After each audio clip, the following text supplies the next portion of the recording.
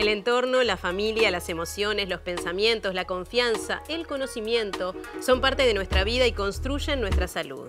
En esta quinta temporada seguimos hablando de todos los aspectos que conforman nuestro bienestar físico, social y emocional y cómo debemos cuidarlos. Porque la salud es mucho más que la ausencia de enfermedad. Te esperamos en Espacio Enseñas. 37 grados, lunes en Espacio Enseñas. La salud en TV Ciudad, abierta.